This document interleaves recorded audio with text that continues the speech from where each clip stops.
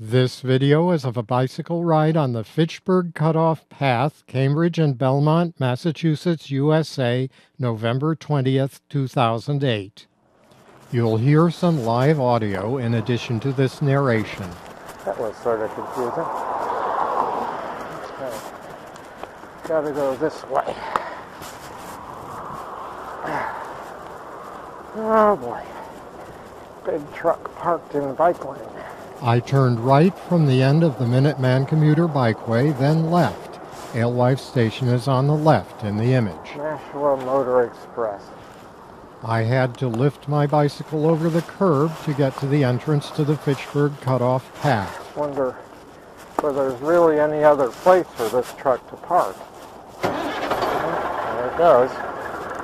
Maybe they heard my complaint. In winter, snow plowed off the roof of the garage blocked this segment. Okay, this is the temporary entrance to the Fitchburg Cutoff Path. Nonetheless, this was an official route with a sign at the entrance. Here's a waterway in a culvert. Here I was headed back up to the rail line, which is in line with the crosswalk that I used near the beginning of the video. Next year there's supposed to be construction, The rail line came in on the right from where the crosswalk is. and there'll be a bridge over there on the right so that this trail can connect straight through. Now I've turned left onto the rail line. On the left are the office, industrial, and apartment buildings along Cambridge Park Drive. A chain link fence prevents access from the buildings. The path was at this time conceived of primarily as a through route. The stone dust surface here has held up quite well.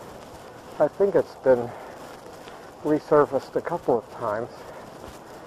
But one thing that makes this work is that it's dead flat. And so you don't have much erosion. Rail lines do have that advantage.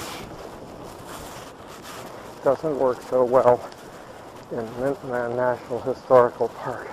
The fence is here of reinforced concrete beams resting on heavy concrete blocks. There does appear to be access at its end. I'm going 11 miles an hour. After this video was shot, when the path was reconstructed, there was much better access. Now we're approaching a central segment of the path where there are wetlands on the right. At the time this video was shot, these wetlands were being abused by motorcyclists.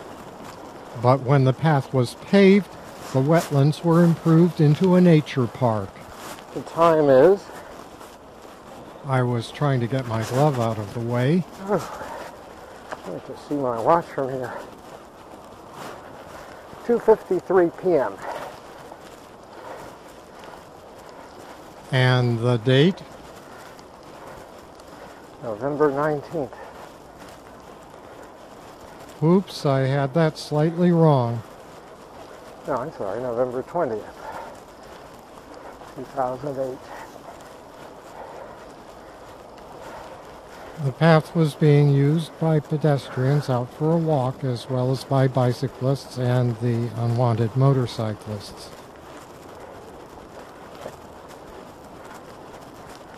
Here's a photo I took 18 years earlier in 1990. A concrete beam and two concrete blocks like those in the fence seen earlier had been placed across the path. Notice also the donut in the foreground made by a motorcyclist. By 2002, someone had moved one of the blocks so it was possible to get around. By 2008, the obstruction had been completely pushed aside.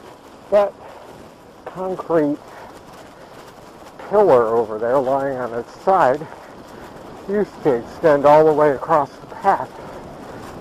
Someone moved it over out of the way. I'm not sure who. I'm not sure when. Here we have a very, very narrow path blocked off from the rail line by a chain link fence. I'm not sure what's going to be done about that when the path is constructed. If you look at my two photos, you'll see that the path got narrower over the years. with pavement yet. Unofficial exit to a parking lot, private parking lot. And now at last I was approaching Brighton Avenue. The end of the path was much improved when it was reconstructed. Okay. And here's the official exit, which is nothing too fancy. Thanks for watching, and I'll have another video of the path as it was reconstructed.